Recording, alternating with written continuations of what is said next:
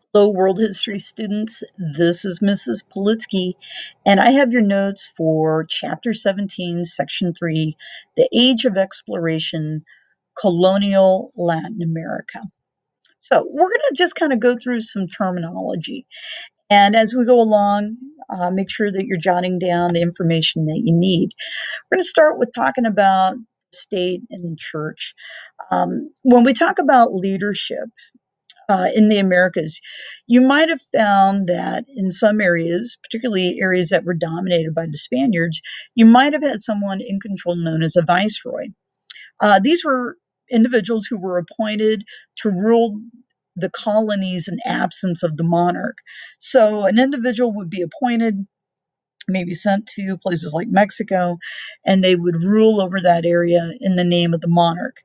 A mission was something established by the church. It was built to Christianize the native peoples and to use them for labor. When we talk about missions um, throughout Mexico and really even in the southwestern portion of the United States, uh, there are a number of these that were established in the 1500s.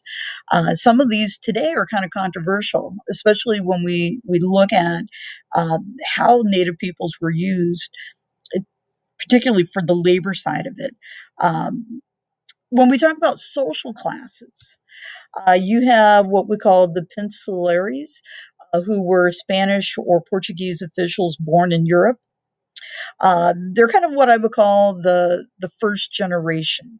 Uh, these are the people who, at some point in time, may have been sent to the Americas uh, or a colony of some type spent some time there and then went back to, to their home nation.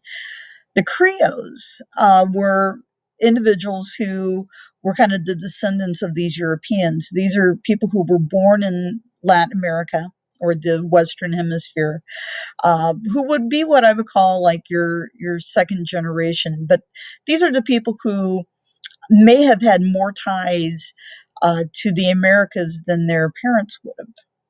Mestizos, these are individuals who are the offspring of European and native peoples. Mulattoes are the offspring of um, Africans and Europeans, uh, usually denoted by a lighter skin tone. And then finally, we have our enslaved persons. Economic foundations uh, we have the Mita, which is a labor system that kind of goes back to the Incas, but it's a system that Spanish administrators in Peru used to draft native people into work. So it, it kind of was something that was already kind of established by the Incas, the native peoples, uh, but eventually utilized by the Europeans, in this case, the Spaniards. The Encomienda, uh, which is a system of labor in which the Spanish used uh, used in the Americas.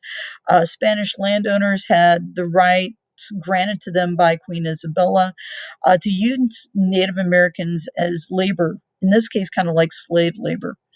Uh, very controversial and kind of problematic uh, because of the fact that uh, many of our Europeans introduced new diseases that our native peoples had no immunity to. And eventually, there's going to be um, widespread death. Eventually, we're going to have to find a different labor source, and eventually, we're going to see the um, the use of slave labor, labor coming in from Africa, kind of replacing this. Thank you very much.